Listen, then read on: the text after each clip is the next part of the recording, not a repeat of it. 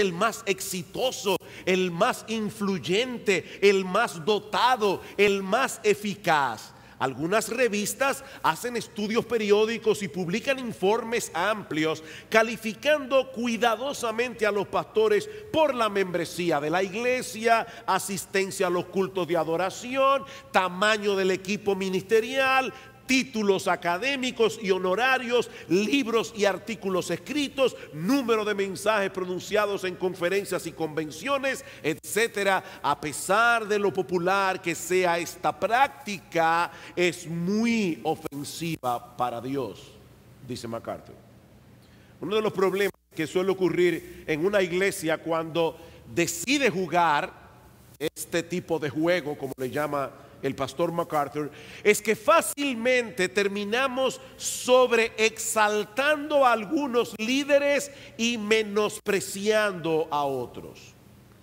Y eso fue precisamente lo que ocurrió en la iglesia de Corinto, como hemos visto ya en los mensajes anteriores. Vayan conmigo a primera a los Corintios capítulo 4, que es el pasaje que vamos a estudiar en la mañana de hoy, pero escuchen lo que dice Pablo en el versículo 6, hablando de este tema. Dice, "Pero esto, hermanos, lo que él ha venido diciendo acerca de este asunto de evaluar a los pastores, lo he presentado como ejemplo en mí y en Apolos por amor de vosotros, para que en nosotros aprendáis a no pensar más de lo que está escrito. No sea que por causa de uno os envanezcáis unos contra otros. Os envanezcáis. Los creyentes en Corinto se habían dividido en diversas facciones, en diversos grupos en la iglesia. Como hemos visto ya, algunos decían, yo soy de Pablo, y otro decía, no, yo soy de Apolos, y otro, yo soy de Pedro. Y entonces había un cuarto grupo que lo más seguro pensaban que eran los más espirituales, porque estos parecen que decían, y nosotros no seguimos a ningún hombre, sino que solamente seguimos a Jesucristo. Estos cristianos necesitaban adquirir urgentemente una comprensión más adecuada del ministerio. O de lo contrario, ellos seguirían idolatrando a algunos líderes en la iglesia y al mismo tiempo despreciando a otros. Y lo peor de todo, mis amados hermanos, es que la tabla de evaluación que esta iglesia estaba usando para evaluar a los pastores era una tabla de evaluación completamente mundana de acuerdo a la sabiduría del mundo, no a la sabiduría de Dios. En el capítulo 4, el apóstol Pablo aborda este problema proveyéndonos algunas enseñanzas fundamentales que nos ayudarán a evaluar el liderazgo de la iglesia conforme a la perspectiva de Dios, no conforme a la perspectiva del mundo. Yo estaba pensando que esta es una de las ventajas que tiene la predicación expositiva cuando uno toma un libro de la Biblia y va capítulo por capítulo. Y es que hay algunas cosas que difícilmente un pastor escogería para predicar a menos que no sea en un contexto como este, en una serie expositiva de sermones. Lo primero que Pablo nos hace ver, eh, yo no sé si soy yo que me estoy oyendo mal, pero me da la impresión de que a veces se va la voz. Sí, se está yendo la voz. Es la pila, es... No. Eh, aunque tenga que estar preso, prefiero que me oigan. Lo lamento, no me gusta estar preso, pero yo prefiero que ustedes me escuchen y yo siento que a veces de repente... Y vuelvo otra vez. Entonces, para que eso no pase, Vamos al punto aquí. Pablo nos da tres enseñanzas fundamentales en este pasaje, a través de las cuales nosotros podemos hacer una evaluación adecuada, una evaluación correcta desde la perspectiva de Dios de lo que debe ser un ministerio cristiano. Y la primera enseñanza es que el verdadero liderazgo cristiano se reconoce por ser un portavoz del mensaje de la cruz. El verdadero liderazgo cristiano se reconoce por ser un portavoz del mensaje de la cruz. Primera los Corintios 4, 1 al 7. Dice Pablo, así pues, téngannos los hombres por servidores de Cristo y administradores de los misterios de Dios. Ahora bien, se requiere de los administradores que cada uno sea hallado fiel. Yo en muy poco tengo el ser juzgado por vosotros o por tribunal humano y ni aun yo me juzgo a mí mismo. Porque aunque de nada tengo mala conciencia, no por eso soy justificado, pero el que me juzga es el Señor. Así que no juzguéis nada antes de tiempo hasta que venga el Señor, el cual aclarará también lo oculto de las tinieblas y manifestará las intenciones de los corazones y entonces cada uno recibirá su alabanza de Dios. Pero esto, hermanos, lo he presentado como ejemplo en mí y en Apolos por amor de vosotros, para que en nosotros aprendáis a no pensar más de lo que está escrito, no sea que por causa de uno os envanezcáis unos contra otro, porque ¿quién te distingue o qué tienes que no hayas recibido? Y si lo recibiste, ¿por qué te glorías como si no lo hubieras recibido? Lo primero que hace Pablo aquí en este pasaje es hacerle ver a los corintios que los ministros del Evangelio no somos parte de una élite super espiritual que se encuentra por encima del resto de los demás mortales. No, no. Nosotros somos simple y llanamente siervos del Dios Altísimo. Eso es lo que somos, amados hermanos. Somos siervos y hemos sido llamados, hemos sido equipados por Dios para llevar a cabo una tarea muy específica. Nosotros debemos administrar los misterios de Dios. ¿Y eso qué significa? Bueno, nosotros hemos dicho muchas veces desde este púlpito que la palabra misterio cuando se usa en el Nuevo Testamento no se usa para referirse a algo misterioso en el sentido en que nosotros solemos usar la palabra. La palabra misterio se usa en el Nuevo Testamento para referirse a ese conjunto de verdades que nosotros de ninguna manera podríamos descubrir por nosotros mismos. Son verdades que solo podemos conocer por revelación de Dios. Y en el contexto de Primera los Corintios, nosotros sabemos que Pablo se está refiriendo al Evangelio. Él ha venido hablando del Evangelio de la cruz. De hecho, noten en el capítulo 2 que estudiamos la semana pasada, dice en el versículo 6, sin embargo, hablamos sabiduría entre los que han alcanzado madurez y sabiduría no de este siglo ni de los príncipes de este siglo que perecen, mas hablamos sabiduría de Dios en misterio. La sabiduría oculta, la cual Dios Dios preparó desde, antes de los siglos para nuestra gloria. Y ahora escuchen, la que ninguno de los príncipes de este siglo conoció, porque si la hubieran conocido nunca habrían crucificado al Señor de gloria. ¿Qué es entonces lo que Pablo está diciendo aquí? Pablo está diciendo que el Evangelio, ese plan que Dios diseñó para salvar a los pecadores a través de la encarnación, muerte, resurrección de nuestro Señor Jesucristo, ese plan de salvación, ningún hombre lo habría podido descubrir por sí mismo. No importa qué tan inteligente sea, no importa qué tan agudo mentalmente y educada esta persona pueda llegar a ser, nadie puede descubrir el Evangelio. Dios tiene que revelarlo. Y es ese mensaje del Evangelio el que Dios nos ha encargado a los pastores, a los ministros, a sus siervos que nosotros proclamemos. Noten el capítulo 2, versículos 1 al 5. Así que hermanos, cuando fui a vosotros, dice Pablo, para anunciaros el testimonio de Dios, no fui con excelencia de palabras o de sabiduría Ustedes recordarán cómo los griegos eran tan amantes de la buena oratoria, tan amantes de la filosofía. Les encantaba escuchar un buen proceso de argumentación y Pablo dice, yo no fui a vosotros queriendo impresionarlos con mi oratoria, queriendo impresionarlos con mi elocuencia, porque yo sé que ni mi oratoria ni mi elocuencia puede salvar a ningún pecador. Dice Pablo en el versículo 2, pues me propuse no saber entre vosotros cosa alguna, sino a Jesucristo y a este crucificado. Pablo predicaba el Evangelio de Jesucristo. Eso no quiere decir que todos los sermones de Pablo eran evangelísticos en el sentido de que siempre tenían el propósito de presentar el evangelio a los incrédulos. Lo que Pablo está diciendo aquí es que no importa el tema que él estuviera exponiendo, el tema que él estuviera predicando, él siempre lo hacía a la luz de eso que pasó hace dos mil años en la cruz del Calvario.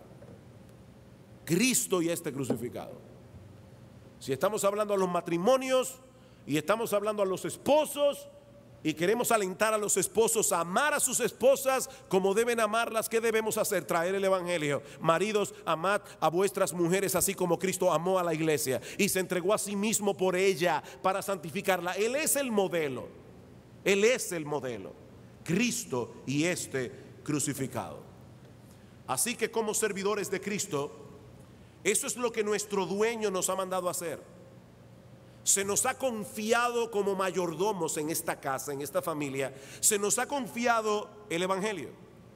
Y por lo tanto, ese mensaje del Evangelio debe permanecer en el centro de nuestra predicación, en el centro de nuestro ministerio y aún en el centro de nuestras vidas, como veremos en un momento.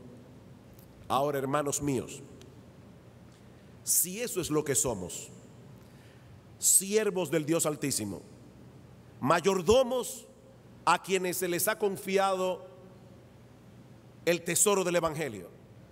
¿Cuál es el criterio que usa Dios para evaluar a sus siervos? ¿Cómo nosotros sabemos si un pastor está haciendo lo que el Señor le ha mandado hacer? Pablo responde esta pregunta en el versículo 2. Ahora bien, se requiere de los administradores que cada uno sea hallado simpático. No. Se requiere de los administradores que cada uno sea hallado popular. No. Se requiere de los administradores que tengan una personalidad arrolladora, carismática. No. Se requiere de los administradores que sean hallados fieles. Fieles fieles a la encomienda que han recibido de Dios como administradores de su revelación. Miren hermanos, ustedes no pueden imaginarse la presión que tienen todo el tiempo los predicadores para que dejen de predicar la palabra de Dios y se dediquen a predicar otra cosa. Y no es que prediquen el Corán no, puede ser predicando la Biblia, pero no están predicando la Biblia. ¿Y cómo así? Bueno, yo puedo traer aquí un, mensaje de autosuperación. El otro día estaba escuchando a un a una persona muy reconocida en los medios evangélicos y por eso voy a, ahorrarme el nombre, pero él estaba hablando en la iglesia donde él predica acerca del gran valor que tiene la autoestima en el cristiano y cómo nosotros debemos hacer todo lo posible por elevar la autoestima de la gente a través de nuestra predicación. Y él citaba versículos bíblicos aquí y allá para probar su punto, un punto que no es bíblico. Hermanos, nosotros tenemos que predicar la Biblia. Nosotros tenemos que tomar el pasaje que está en las escrituras y revelarlos delante de ustedes, que ustedes puedan salir de este lugar diciendo, yo entendí lo que Dios me quiso decir a mí a través de la predicación de su palabra. Esa es la responsabilidad que nosotros tenemos delante de Dios. Vamos a 2 Timoteo, rápidamente, 2 Timoteo capítulo 1. Escuchen cómo Pablo le habla a su hijo Timoteo en la última carta que Pablo escribió. Pablo sabía que estaba a punto de partir. Y él estaba diciendo a Timoteo algunas de las cosas más importantes que él debía decirle a su hijo en la fe antes de su partida. Dice en el capítulo 1, versículo 13, retén la forma de las sanas palabras que de mí oíste Retén la forma de las sanas palabras. Capítulo 2. Tú pues, hijo mío, esfuérzate en la gracia que es en Cristo Jesús. Lo que has oído de mí ante muchos testigos. Esto encarga a hombres fieles que sean idóneos para enseñar también a otros. Versículo 15, procura con diligencia presentarte a Dios aprobado como obrero que no tiene de qué avergonzarse, que usa bien la palabra de verdad al final del capítulo 3, Dice en el versículo 14, persiste en lo que has aprendido y te persuadiste. Y ahí es en ese pasaje que Pablo dice, toda la escritura es inspirada por Dios y útil para enseñar, para corregir, para redarguir, para instruir en justicia. Hermanos, la palabra de Dios es útil para todas esas cosas. ¿Qué debía hacer Timoteo? Capítulo 4, te encarezco delante de Dios y del Señor Jesucristo, que juzgará a los vivos y a los muertos en su manifestación y en su reino, que prediques la palabra, que instes a tiempo y fuera de tiempo, redarguye, reprende. A las personas hoy no les gusta eso. No, yo voy a la iglesia después de una semana de trabajo a sentirme bien. Dice Pablo Timoteo, reprende, redarguye, exhorta con toda paciencia y doctrina. Esta es otra mala palabra en el día de hoy. No, yo quiero más amor, menos doctrina. No, yo quiero más amor y más doctrina. No es menos amor tampoco. ¿Qué sigue diciendo Pablo? ¿Sabes, Timoteo, por qué te digo todo esto? Porque vendrá tiempo cuando no sufrirán la sana doctrina, sino que teniendo comezón de oír, se amontonarán maestros conforme a sus propias concupiscencias. En otra palabra, Pablo está diciendo, Timoteo, ¿sabes por qué te estoy urgiendo a que prediques la palabra, porque va a llegar un momento en que la gente en las iglesias lo que van a querer es que les rasquen por donde le pica ay, yo me siento tan bien. Mira, mi pastor es tan chistoso. Yo me muero de la risa. Yo, para mí, ir a la iglesia, como me dijo una señora una vez, ir a la iglesia es como ir a un spa. Bueno, la iglesia debería ser como un spa, pero en otro sentido. En otro sentido. Ahora, noten algo importante en este pasaje. Pablo dice que los administradores deben, ser hallados fieles. La pregunta es, ¿ante quién son responsables los pastores de ser hallados fieles? E, en otras palabras, ¿cuál es la opinión que realmente importa con respecto a sus ministerios? Yo no sé, me imagino que la mayoría de ustedes han oído esta adivinanza. ¿De qué color era el caballo blanco de Napoleón? ¿La han oído, verdad? Bueno, blanco. ¿De qué color era el caballo blanco de Napoleón? La respuesta está en la pregunta. Bueno, e, es algo similar lo que yo estoy preguntando aquí. Yo estoy preguntando, ¿ante quién son responsables los siervos de Cristo? Ante Cristo. Los siervos de Cristo son responsables ante Cristo. ¿Qué quiere decir esto tan profundo que yo acabo de decir? Bueno, esto quiere decir, hermanos, que a final de cuentas importa muy poco, importa muy poco la evaluación que las personas hagan de nuestros ministerios. Si el Señor nos tiene por fieles, porque nos hemos mantenido fieles, apegados a la encomienda que Él nos dio de administrar sus misterios, de predicar su palabra, de enseñar todo el consejo de Dios. Es esa evaluación de Cristo la que prevalecerá y la que importará a final de cuentas. No importa que el mundo entero nos dé la espalda. Ahora, esto también funciona al revés. Esto funciona al revés. También importa muy poco que nosotros ganemos un concurso de popularidad dentro y fuera de la iglesia, si Cristo no nos tiene por fieles, mis amados hermanos, toda esa admiración del mundo tampoco sirve para nada. La única opinión que importa es la opinión de Cristo. Es por eso que Pablo sigue diciendo en 1 Corintios 4, en el versículo 3, dice él, yo en muy poco tengo el ser juzgado por vosotros o por tribunal humano. Y ahora escuchen, y ni aún yo me juzgo a mí mismo. Ni aún yo me juzgo a mí mismo. En otras palabras, ni siquiera importa mucho la evaluación que yo haga de mí mismo. Hermanos pastores que están aquí, líderes en todo el sentido de la palabra, nosotros debemos trabajar para el Señor con nuestros ojos puestos en aquel día, cuando estemos en la presencia del Señor y escuchemos de su boca, bien buen siervo y fiel. Eso es lo único que importa. Si el Señor en aquel día no nos dice, bien, buen siervo y fiel, todo lo que nosotros hicimos con nuestros ministerios se quemará como heno, paja y hojarasca. Ahora, hermanos, no me malentiendan, por favor. Eso no quiere decir que los siervos del Señor no tengamos la obligación de examinarnos a nosotros mismos. El mismo Pablo dice que que nosotros debemos examinarnos, aún los cristianos, según a los Corintios capítulo 13, versículo 5, aún para saber si estamos en la fe.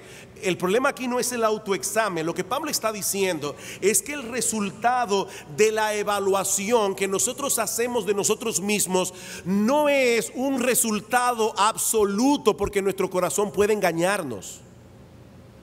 O sea, la única evaluación que es objetiva es la que hace Cristo.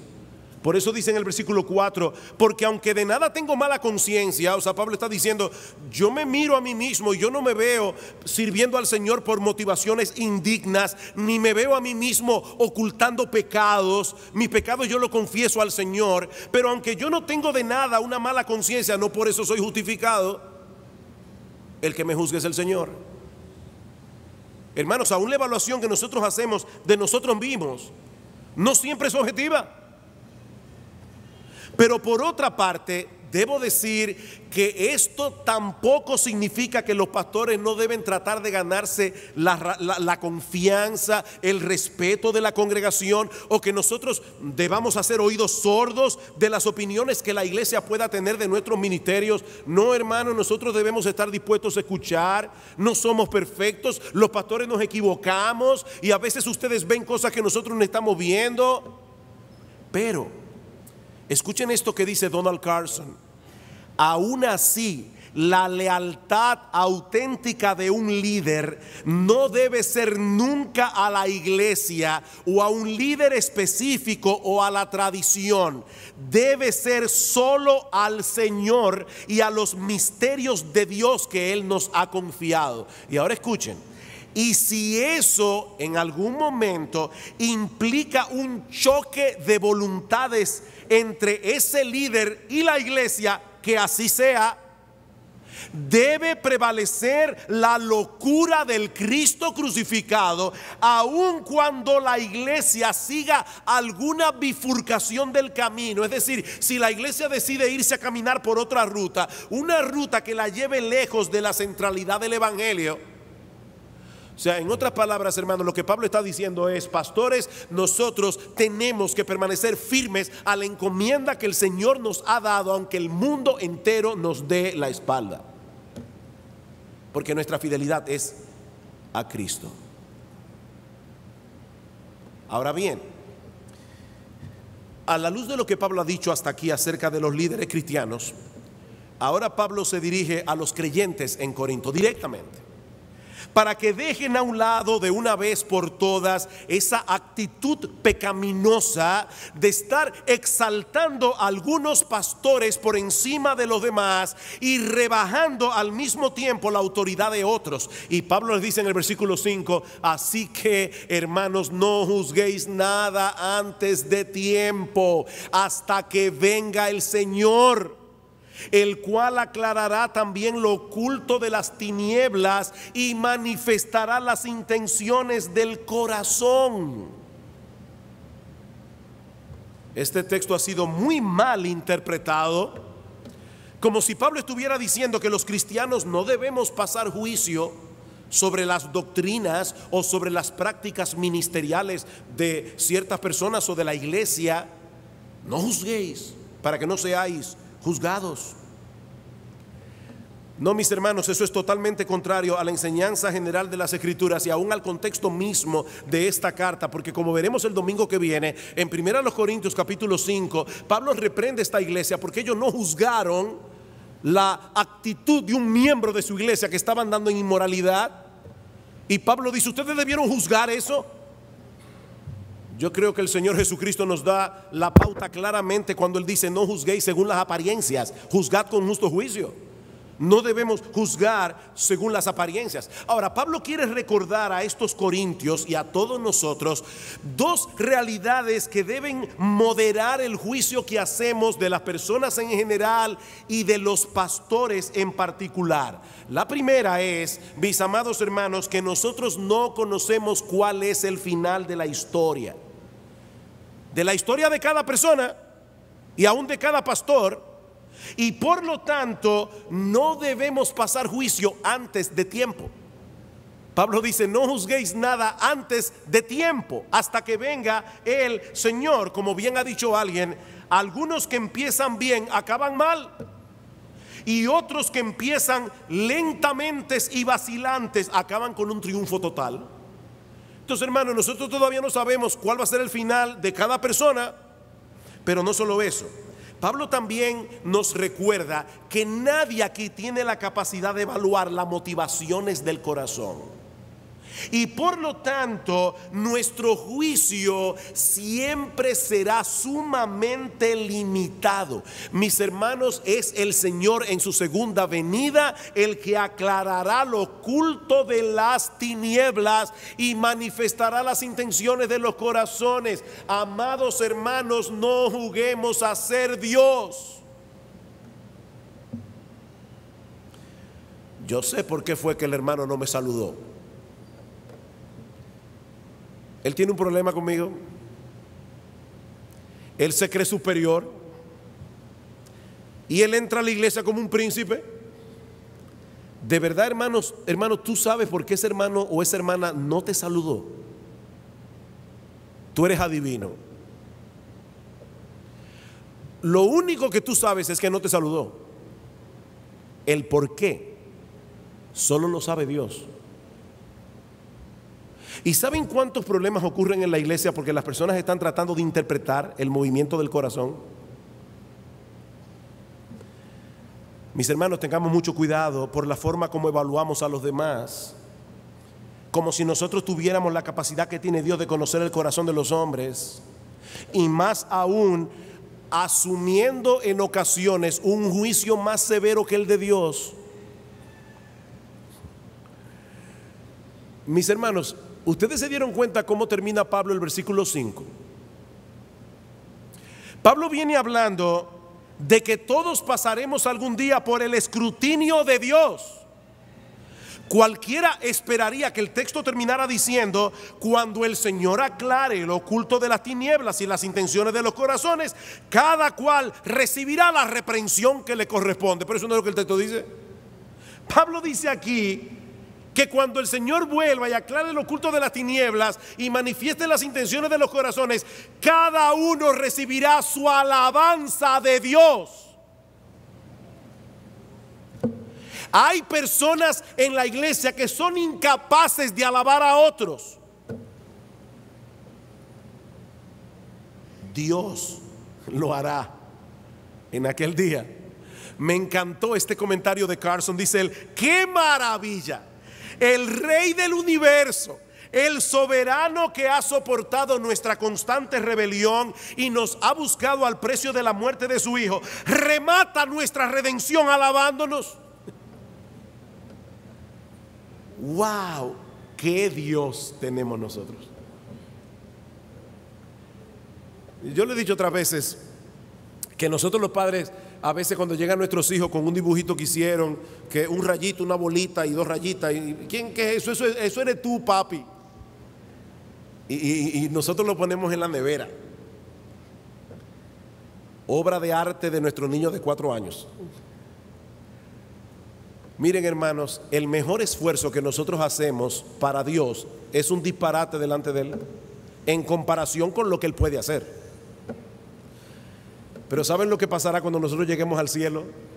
Que en la nevera de la cocina de Dios vamos a encontrar muchos de nuestros dibujos pegados en la puerta. Ese es nuestro Dios. Ese es nuestro Dios. Querido hermano, Querida hermana, ¿alguna vez tú te has puesto a pensar en el hecho de que esa persona a la que tú vives criticando puede ser que en el día del juicio sea alabada por Dios? Piensa eso. Piensa eso. Eso no quiere decir que los líderes cristianos estén por encima de toda reprensión. Recuerden que Pablo tuvo que reprender a Pedro y a Bernabé en Antioquía, dice en Gálatas capítulo 2, versículo 14, porque se estaban comportando como hipócritas delante de la iglesia. No, los cristianos debemos tener discernimiento al evaluar las doctrinas, al evaluar las prácticas ministeriales de un pastor o de alguna iglesia. Y algunas de esas doctrinas, algunas de esas prácticas tendrán que ser expuestas como un error a la luz de lo que entendemos que la palabra de Dios enseña. Pero no es de eso que Pablo está hablando aquí. Lo que Pablo está condenando, como dice Carson, es ese tipo de juicio que descalifica a un líder cristiano simplemente porque no encaja en mi esquema o porque parece competir con mi gurú favorito. Es de eso que Pablo está hablando aquí. Mis hermanos, cuando nos comportamos de ese modo, estamos yendo más allá de lo que la palabra de Dios nos permite llegar. Versículo 6. Pero esto, hermanos, lo he presentado como ejemplo en mí, en Apolos, por amor de vosotros, para que en nosotros aprendáis a no pensar más de lo que está escrito no sea que por causa de uno os envanezcáis unos contra otros. Pero no solamente eso, piensen mis hermanos que nos estamos olvidando que si alguna bendición hemos recibido de parte de algún siervo del Señor, o si algunos hermanos en la iglesia han recibido alguna bendición por medio tuyo, al final de cuentas, ¿de quién es esa bendición? Es de Dios.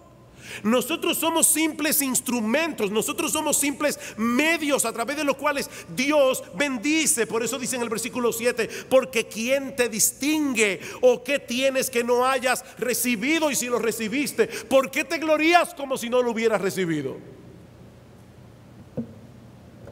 Me encantó, me encantó la ilustración que usó Miguel Núñez en una de sus conferencias en Por su causa. Dice que había un pajarito carpintero que está dándole a un, árbol, a un tronco, y de repente cae un rayo del cielo, ¡boom! Y el árbol se cae, dice el pajarito, ¡wow, qué poder! Mi hermano, ¿quién te distingue? ¿Qué tú tienes que no hayas recibido? Y si lo recibiste, ¿por qué te glorías como si no lo hubieras recibido? Eso es un don que da Dios. A Dios le ha placido, Dios no nos necesita a ninguno de nosotros, pero Él es tan bueno que a Él le ha placido escoger a seres humanos débiles y a través de ellos manifestar su poder y su gloria. He ahí el primer elemento que Pablo nos provee para evaluar el ministerio desde la perspectiva de Dios y no desde la perspectiva del mundo. El verdadero líder cristiano es un portavoz del mensaje de la cruz. Pero precisamente por eso, y aquí viene el segundo elemento, el verdadero líder cristiano es una persona que vive a la luz de ese evangelio que predica. Él no solamente predica el Evangelio, él vive a la luz de ese Evangelio que predica. Eso es lo que Pablo viene a decirnos en los versículos 8 al 13. Ahora, antes de leer el pasaje, para poder entender esta porción de la carta, que voy a leer en un momento, debemos conocer algunas costumbres a las que Pablo parece estarse refiriendo en este pasaje. Recuerden que el mundo en aquellos días estaba bajo el poder de Roma, del imperio romano. Cuando las legiones romanas regresaban victoriosas del campo de batalla, entraban en la ciudad en una gran procesión en la que primero venían los militares más veteranos, luego venían los militares más jóvenes y detrás de todos los enemigos que habían sido capturados en batalla. Estos prisioneros también eran alineados en un orden de rango descendente. En la parte delantera iban aquellos que pertenecían a las clases más altas, ahí iban los generales, los capitanes, y así hasta que al final de la cola estaban los soldados y los que pertenecían a las clases más bajas. Estos que estaban obviamente al final de la cola en la procesión se tragaban todo el polvo de los demás y ellos ya sabían de antemano que estaban destinados a terminar en el teatro peleando con gladiadores o siendo tirados simplemente a las bestias para que las bestias se los comieran vivos para entretenimiento del pueblo. Y ahora Pablo se vale de esta figura para hacer un contraste entre él y los apóstoles por un lado y los corintios que se estaban jactando y envaneciendo por el otro. Lean ahora los versículos 8 y 9. Pablo dice, ya estáis saciados, ya estáis ricos, sin nosotros reináis y ojalá reinaseis para que nosotros reinásemos también juntamente con vosotros. Porque según pienso, Dios nos ha exhibido a nosotros los apóstoles como postreros nosotros somos los últimos en la procesión, los que se tragan todo el polvo, los que van a terminar en el teatro como un espectáculo. Los apóstoles, Dios nos ha exhibido como postreros, como a sentenciados a muerte, pues hemos llegado a ser espectáculo al mundo, a los ángeles y a los hombres. Wow. Mire, mis hermanos, todo este pasaje está cargado de una fuerte ironía y sarcasmo. Eso no quiere decir que ahora te pongas a hablar con ironía y con sarcasmo. Pablo estaba siendo aquí inspirado por el Espíritu Santo, tú no lo eres. Generalmente cuando usamos la ironía y el sarcasmo, fácilmente se nos puede ir la mano. Yo creo que hay momentos para usar la ironía como una forma de querer chocar a una persona y hacerlo reaccionar. Y eso es exactamente lo que Pablo está haciendo aquí. Pablo quiere desinflar el orgullo de los corintios. Y ahora les está diciendo, ustedes dan la impresión de que no necesitan absolutamente nada. Como si ya estuvieran reinando con Cristo. Ustedes se sienten profundamente satisfechos y prósperos y quisieran que nosotros, los líderes de la iglesia, tengamos ese mismo aire de triunfalismo que ustedes tienen. Ojalá estuvierais reinando, dice Pablo, porque eso significaría que ya Jesucristo regresó del cielo para reinar en gloria. El problema es que eso no ha sucedido todavía. Nosotros estamos en el campo de batalla. Nosotros estamos en medio de un mundo que aborrece al Señor y al Evangelio. Es por eso, mis hermanos, que Santiago dice en su carta, oh almas adúlteras, no sabéis que la amistad con el mundo es enemistad contra Dios. Cualquiera pues que quiera ser amigo del mundo se constituye en enemigo de Dios. Nosotros no hemos llegado al cielo, Jesucristo no ha regresado en gloria, nosotros estamos todavía en terreno enemigo. ¿Saben mis hermanos lo que ocurre cuando los cristianos comenzamos a suspirar por los aplausos y la aceptación del mundo? Que terminamos abandonando la predicación del Evangelio y el estilo de vida que el Evangelio promueve. Porque nosotros sabemos que el Evangelio es considerado en el mundo como la más grande locura y necedad.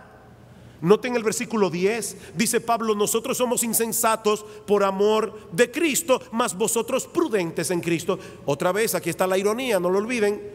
Nosotros débiles, mas vosotros fuertes, vosotros honorables, mas nosotros despreciados. ¿Qué es lo que Pablo está diciendo aquí? Bueno, es como si él estuviera diciendo, el mundo nos tiene por insensatos por el hecho de proclamar ese mensaje que ellos consideran como una locura. Ustedes, en cambio, en su afán de mantener vuestra reputación de gente sensata, Ustedes parecen estar dispuestos a poner a un lado el Evangelio, a poner a un lado la sabiduría de Dios que se manifiesta en ese Evangelio y volver a abrazar la sabiduría del mundo. Ahora, si ustedes hacen eso, dice Pablo en otras palabras, ¿quién es el necio aquí? No sé si captaron el asunto. Recuerden que una ironía es decir lo contrario en una forma irónica. San Pablo dice, nosotros somos insensatos y ustedes los prudentes. No será al revés. Que ustedes son los necios que están queriendo ahora abandonar el Evangelio para volver a abrazar la pompa, el brillo, la fama, la popularidad del mundo. A veces los cristianos queremos quitarnos de encima el ropaje evangélico. Y mira mi hermano, déjame decirte algo. Si a ti nunca te ha pasado eso, te felicito. Yo lamentablemente y para mi vergüenza no puedo decir lo mismo. Y uno quiere hablar en un lenguaje como para que la gente vea que uno no somos tan estúpidos. No queremos quitar de encima ese ropaje evangélico. Porque ese ropaje no tiene mucho brillo en el mundo, hermanos. ¿Y saben lo que terminamos siendo? Unos verdaderos insensatos. Porque nos estamos alineando con esa sabiduría del mundo que fue totalmente derrotada por la sabiduría de Dios. Decíamos la semana pasada que las autoridades de este mundo se creyeron muy sabias y muy astutas cuando finalmente lograron condenar a muerte a Jesús. ¡Qué victoria! En estos días estaba viendo con mis nietos las crónicas de Narnia otra vez. La bruja, el león y el ropero. Qué escena tan fuerte cuando la bruja mata a Aslan. Y cómo se ven todos esos monstruos horribles gozándose en haber matado a Cristo. Tuvimos victoria. Pero ¿saben lo que estaba pasando ahí? Que gracias a esa necedad del mundo, ellos sin saberlo estaban llevando a cabo el plan de Dios. La sabiduría del mundo fue derrotada en la cruz. Dios ganó perdiendo. Así que hermanos, que el mundo piense lo que le dé la gana, que el mundo piense lo que quiera. La realidad del caso es que al haber abrazado el Evangelio de la cruz con todo nuestro corazón, los cristianos nos hemos alineado a la sabiduría y el poder de Dios, que es infinitamente más sabio y más poderoso que cualquier hombre. Pero eso tendrá un costo en este mundo. Sigue diciendo Pablo versículo 11, hasta ahora padecemos hambre. Tenemos sed, estamos desnudos, somos abofeteados, no tenemos morada fija, nos fatigamos trabajando con nuestras propias manos, nos maldicen y bendecimos, padecemos persecución y la soportamos, nos difaman y rogamos. Hemos venido a ser hasta ahora como la escoria, la basura del mundo, el desecho de todos. Ese es el precio que muchas veces tenemos que pagar por el Evangelio. Miren hermanos, seguir a ese Cristo que fue rechazado por el mundo tiene un costo. Proclamar el mensaje del Evangelio de la cruz que el mundo considera una locura, una necedad, una tontería. Hermanos, eso tiene un costo. Pero si en verdad somos cristianos, debemos estar dispuestos a salir de nuestra zona de seguridad para llevar a cabo el ministerio que el Señor le ha asignado a cada uno. No todos tendremos que sufrir en el mismo grado no todos tendremos que ministrar en las mismas circunstancias, pero mi amado hermano, mi amada hermana, si tú eres cristiano, todos debemos estar dispuestos a pagar el precio, el precio que sea para escuchar al final, en aquel día, las benditas palabras de nuestro bendito Salvador, bien, buen siervo y fiel.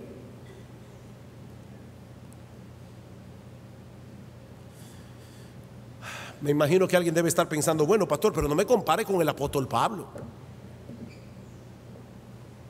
Yo soy un cristiano común y corriente, sin muchas pretensiones. Es más, ni, ministro del Evangelio soy. Yo soy un simple cristianito. Bueno, mi hermano, mi hermana, si tú estás pensando así, escucha ahora nuestro tercer y último encabezado que veremos mucho más brevemente.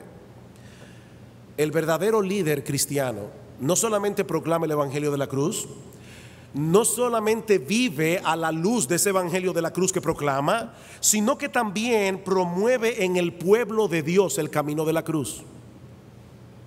El verdadero líder cristiano promueve en el pueblo de Dios el camino de la cruz. Versículo 14 al 17. No escribo esto para avergonzaros, sino para amonestaros como a hijos míos amados. Porque aunque tengáis diez mil ayos en Cristo, los ayos eran esclavos que habían en las casas, sobre todo de las personas ricas, que guiaban a los niños a la escuela. Y, y eran personas que tenían cierta autoridad sobre los niños, pero no tanto como el padre. Ahora dice Pablo, aunque ustedes tengan diez mil años en Cristo, no tendréis muchos padres, pues en Cristo Jesús yo os engendré por medio del Evangelio. Por lo tanto os ruego que me imitéis. El mismo Pablo que ha dicho, yo estoy hambriento, desnudo, sufro la consecuencia de vivir el Evangelio, dice, imítenme en eso. Por esto mismo os he enviado a Timoteo, que es mi hijo amado y fiel en el Señor, el cual os recordará mi proceder en Cristo de la manera que enseño en todas partes y en todas las iglesias. En los días de Pablo se esperaba que los hijos imitaran a sus padres.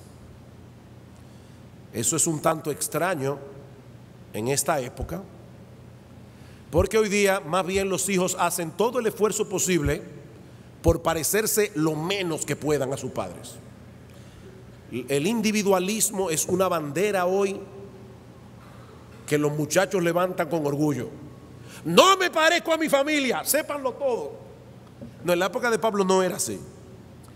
En la época de Pablo se asumía que los hijos iban a imitar a los padres. Y de hecho, si un padre era panadero, era muy probable que el hijo terminara siendo panadero. Y ahora Pablo está diciendo, a la luz de esa realidad cultural de su época, no olviden que fui yo el instrumento que Dios usó para engendrarlos espiritualmente. Por más que ustedes rechacen mi ministerio, dice Pablo, ustedes no van a negar la realidad de que Dios quiso históricamente usarme a mí para fundar esta iglesia. Yo los engendré. Por lo tanto, dice Pablo, imítenme, porque los hijos imitan a los padres.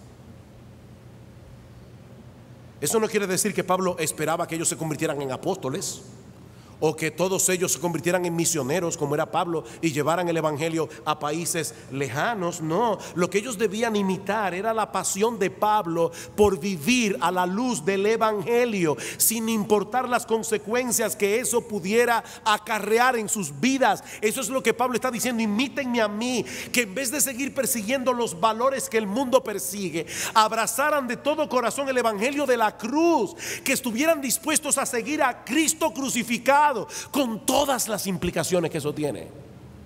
Imítenme en eso, dice Pablo. Miren mis hermanos, el asunto no es creer en las doctrinas correctas solamente, es estar dispuestos a vivir el estilo de vida que esas doctrinas promueven. Tú dices creer que el Hijo de Dios dejó su zona de seguridad y de comodidad en los cielos. Se hizo hombre para morir en una cruz por pecadores que lo odiaban, para rescatar al hombre de su perdición. Tú dices creer eso. Mi hermano, ¿cómo se supone que deben vivir todos aquellos que tienen esta doctrina? ¿Es acaso congruente? ¿Es acaso congruente ver a un cristiano suspirar por las mismas cosas que el mundo suspira? ¿Es eso congruente? Sobre todo a la luz de lo que Cristo hizo para rescatarnos de esa esclavitud Muchas veces leemos la vida de hombres como el apóstol Pablo, como Adoniran Hudson, como Hudson Taylor, William Carey y muchísimos hombres de Dios de la historia y nos sorprendemos cómo esas personas pudieron vivir así, cómo pudieron poner a un lado la comodidad, cómo pudieron entregar sus vidas arriesgarse aún a morir por causa de Cristo. ¿Saben algo, hermanos? Esos cristianos simplemente fueron consecuentes con las doctrinas que profesaban creer. Por eso decía Livingstone que se fue al África a predicar el Evangelio y cuando murió, antes de morir, él pidió que por favor enterraran su corazón en África. Y Livingstone decía, a cada rato me preguntan, ¿cómo yo pude haber hecho este sacrificio? Y yo les digo, yo no he hecho ningún sacrificio. Yo no he hecho ningún sacrificio. Esos cristianos simplemente fueron consecuentes con sus doctrinas. Y esto era tan importante para Pablo que le dice en el versículo 17, por esto mismo os he enviado a Timoteo. ¿Saben para qué lo envió? Dice que es mi hijo amado y fiel en el Señor para que les recuerde mi proceder en Cristo. Para mí es tan importante que ustedes me imiten en esto, que yo envié a Timoteo no para que dé un curso de teología sistemática. Y yo por supuesto no estoy para nada en contra de un curso de teología sistemática, ustedes me conocen, pero Pablo está diciendo, yo envié a Timoteo para que él les muestre a ustedes cómo es que yo he vivido, para que ustedes puedan imitarme a mí.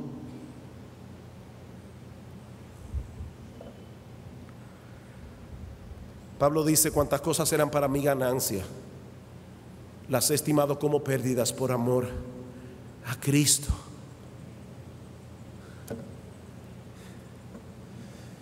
Por supuesto, Pablo estaba consciente de que no todos iban a reaccionar a la carta de él como debían reaccionar. Y por eso concluye este capítulo con una nota de advertencia, versículo 18. Mas algunos estáis envanecidos, como si yo nunca hubiese de ir a vosotros, pero iré pronto a vosotros si el Señor quiere. Pablo estaba consciente de lo que dice Santiago. No digas mañana voy aquí, voy allá, si el Señor quiere. Y conoceré no las palabras, sino el poder de los que andan envanecidos. Porque el reino de Dios no consiste en palabras, consiste en poder. ¿Qué queréis? ¿Iría vosotros con vara o con amor y espíritu de mansedumbre? Esta palabra suena dura, pero saben que hermanos, lo que vemos allí, una vez más, es el amor de Pablo por esta iglesia. Al punto de estar dispuesto a hacer con los creyentes en Corinto y sobre todo con estos arrogantes, lo que hace de un padre responsable cuando su hijo se porta mal y no le basta una amonestación. ¿Qué debe hacer el padre? Disciplinarlo. Por supuesto, Pablo no iba a ir con una correa a Corintio, sino con la disciplina eclesiástica, como veremos el domingo que viene. Pero lo que Pablo está diciendo es, yo estoy dispuesto a hacer lo que sea para que ustedes sean una iglesia sana. Tal parece que estos arrogantes en Corinto estaban ganando aceptación como maestros de la palabra. No porque estuvieran predicando fielmente el Evangelio, no. Estaban ganando aceptación porque ellos tenían esa capacidad de hablar bien que tanto fascinaba a los corintios. Y ahora Pablo les dice que cuando él vaya a ellos, él se encargará de ponerlos en evidencia. ¿Cómo? ¿Cómo Pablo va a hacer eso? Escuchen una vez más a Donald Carson, cuyo sermón sobre este capítulo me fue de mucha ayuda. Él dice, la simple palabrería no transformará a las personas, pero el Evangelio sí. Así que Pablo va a pedirles sus credenciales. ¿A qué personas ha transformado genuinamente vuestra elocuencia, llevándolos a un conocimiento personal del Mesías crucificado? Muéstrenme sus frutos.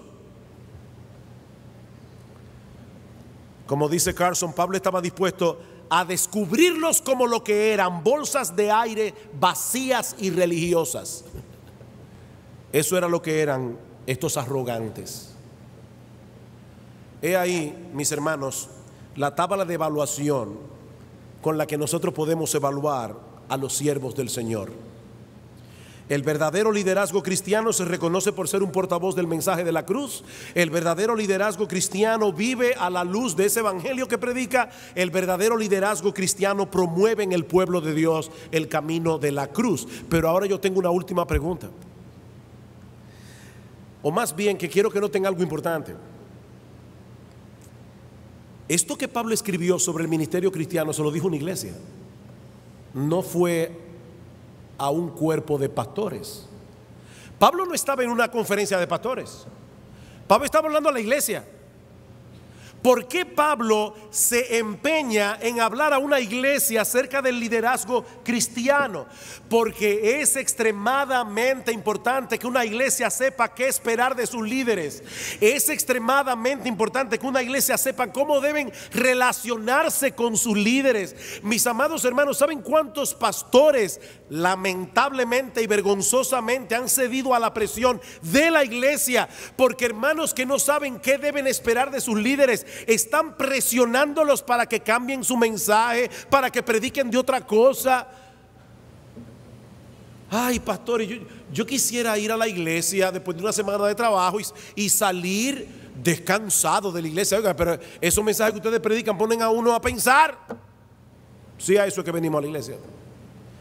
Y ya yo se lo dije la semana pasada, lo voy a repetir otra vez porque yo sé que muchos estaban por su causa. Yo creo que los pastores deben hacer todo el esfuerzo que puedan por predicar claramente. Yo creo que los pastores deben hacer todo el esfuerzo que puedan por hacerse entender. Pero hermanos, oír una buena predicación de la palabra de Dios exige esfuerzo. Y no siempre, no siempre, cuando prediquemos la palabra, vamos a predicar sermones que son de aliento. A veces hay sermones que son de reprensión, como esto que Pablo está escribiendo aquí. Así que hermanos, es importante que ustedes como iglesia escuchen lo que deben esperarse, lo que debe esperarse de un liderazgo cristiano, para que cuando nosotros comencemos a apartarnos de ese camino, ustedes nos llamen a capítulo. Porque esta iglesia no es de los pastores, esta iglesia no es de ustedes, esta iglesia es de Cristo. Y es a Él, y solo a Él, a quien nosotros tenemos que dar cuenta. Que Dios nos ayude, hermanos. Que Dios nos ayude. Yo doy muchas gracias al Señor, y debo decirlo al final, porque ustedes son una iglesia que más bien nos alientan a predicar el Evangelio. Quiere el Señor mantenerlos así hasta que nuestro Señor Jesucristo regrese en gloria. Vamos a orar. Te damos gracias, Señor, por tu palabra. Ella es viva, eficaz. Ella nos dice exactamente lo que nosotros necesitamos escuchar. Padre, bendice Iglesia Bíblica del Señor Jesucristo que tanto sus líderes como sus miembros mostremos a través de nuestra predicación, pero también a través de nuestras vidas, que vivimos centrados en el Evangelio de nuestro Señor Jesucristo. Oh, que Cristo sea el todo en todos, porque te lo pedimos en su nombre. Amén. Iglesia Bíblica del Señor Jesús.